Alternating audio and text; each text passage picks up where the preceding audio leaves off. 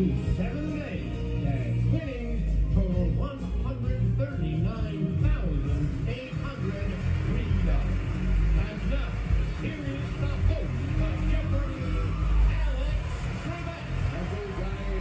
Thank you, ladies and gentlemen. Welcome, everyone. Our current champion, Karen, is unique. She has been a champion for two years.